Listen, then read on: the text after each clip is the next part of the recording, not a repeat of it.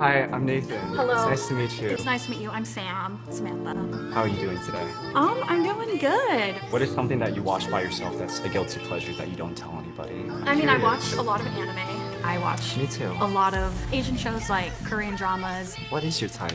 I'm definitely very into Asian men. It's not like a deal breaker or anything. What race do you think I am?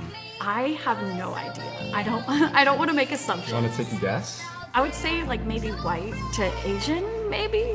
I'm Asian. actually. Oh. Yeah. Can we hug? Sure. Okay.